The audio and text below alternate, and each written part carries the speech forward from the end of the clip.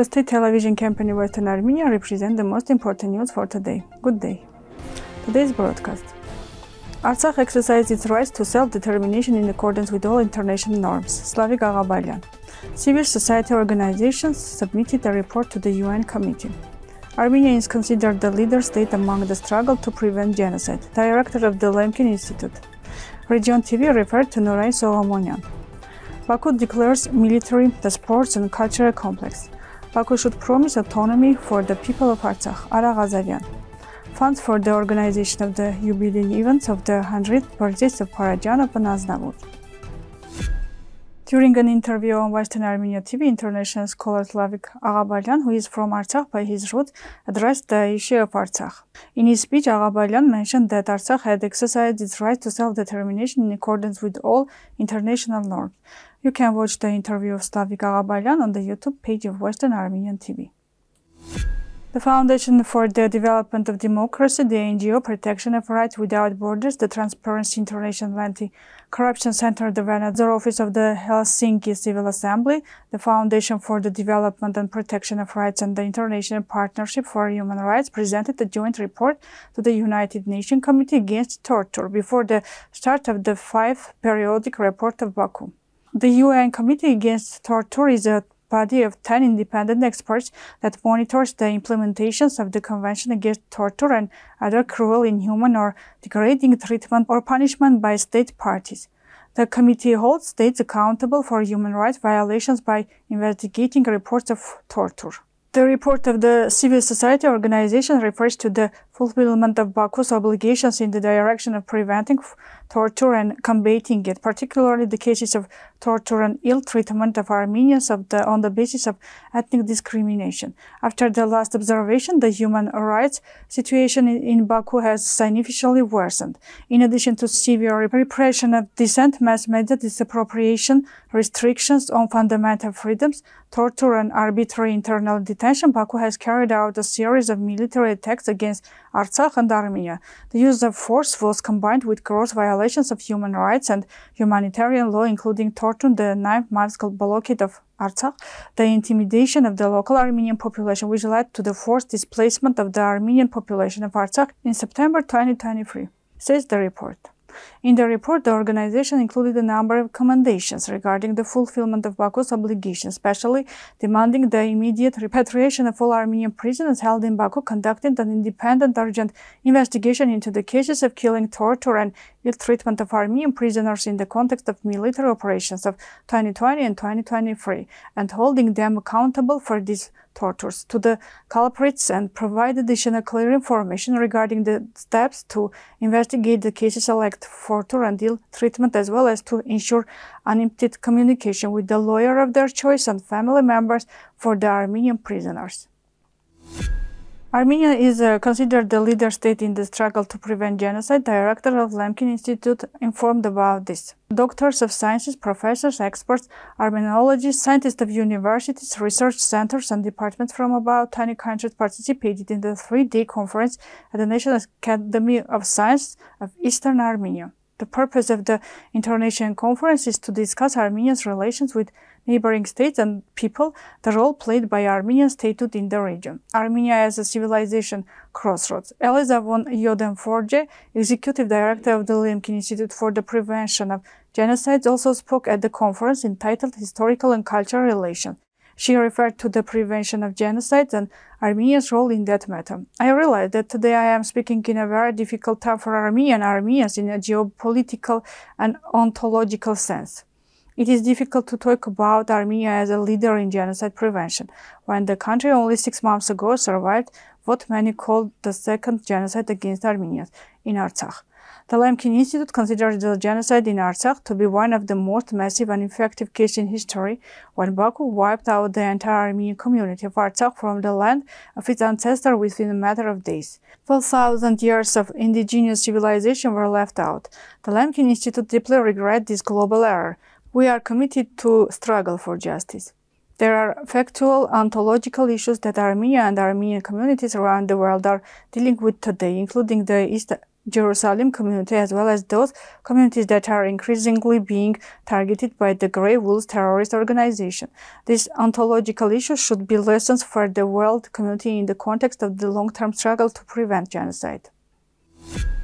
Region TV referred to Norayr Soghomonyan, son of Western Armenia. Norayr Soghomonyan, who was immortalized on the first day of the 44th Day war, was born in the village of Artabuynk, Vayotzor region. He was a student of art school of Yeghegnadzor city. He was a gifted artist, and he also received a musical education as well.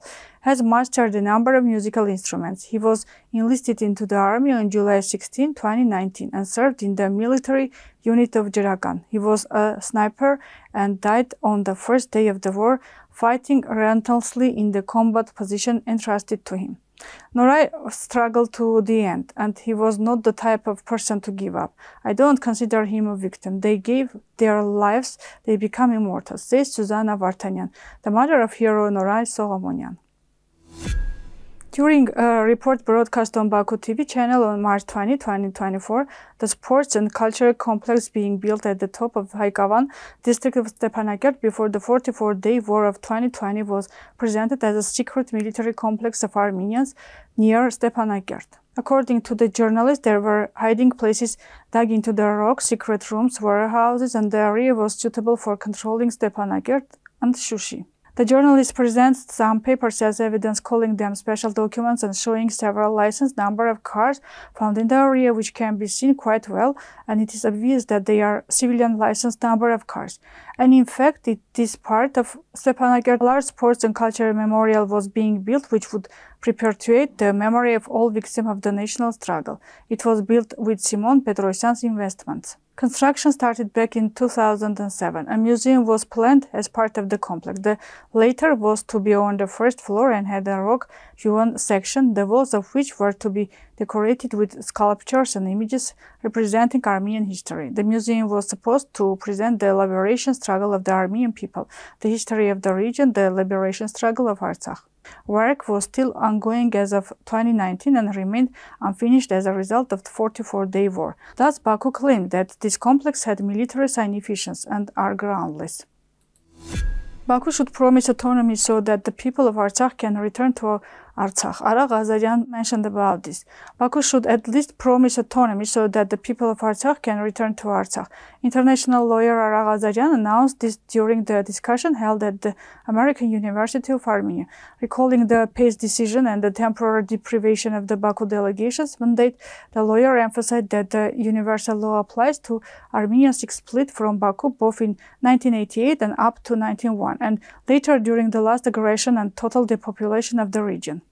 Ghazaryan said that experts come to the conclusion that the return of refugees has the jurisdiction of customary law, especially since Baku has not said and cannot say that refugees have no right to return. Of course, we know that Baku is a hypocrite and says one thing for the internet audience and another thing for the external audience, the lawyer noted.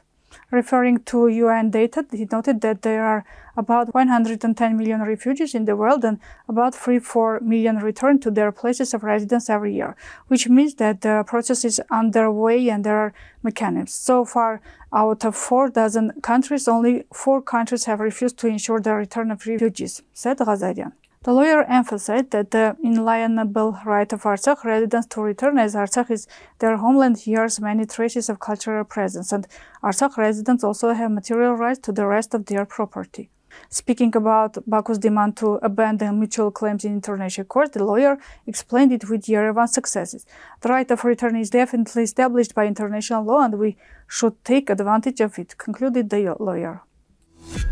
Funds for the organization of the jubilee event of the 100th birthdays of Parajanov and Aznavour. The sum of 1,393 million and 405,000 drams will be directed to the proper organization and implementation of the jubilee events of the 100th anniversary of the birth of famous film director Sergei Parajanov and National Hero of Armenia winner of the French Legion of Honor, world famous chansonnier, public figure Charles Aznavour. The 100th anniversaries of the births of Sergei Parajanov and Charles Aznavour have been included in the 2024 and 2025 UNESCO Jubilee of Famous People and Important Events. Calendar and jubilee events planned have the right to appear under the UNESCO logo. The jubilees of the genius film director and chansonnier are highlighted in terms of appreciation of their art, population of their unique creative heritage. This was all for today. Goodbye. Հայազգավ միասի թվենք ու խաչ մեր ցերքին կրվկանին քուսուսի ու աստուց մեր գլխին օսում են մս ջինջին օսում են մեջք կոտրին բայց մունգլող միասին կկոտրինք թորք շոնին արցախն արցախցին կարել չեմ առանձին աստուց մեր միածին թողորտն է մեզ լողջին չն